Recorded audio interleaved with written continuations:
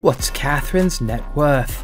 While Catherine's personal wealth is not on par with the colossal estimated worth of the royal family, her pre-Duchess financial background is quite noteworthy.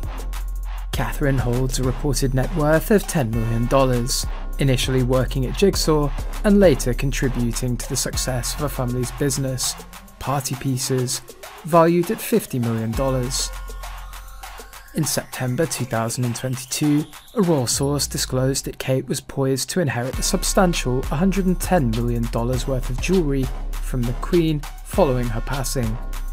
This collection comprised 300 personal pieces, solely owned by the Queen, distinct from the Crown's holdings.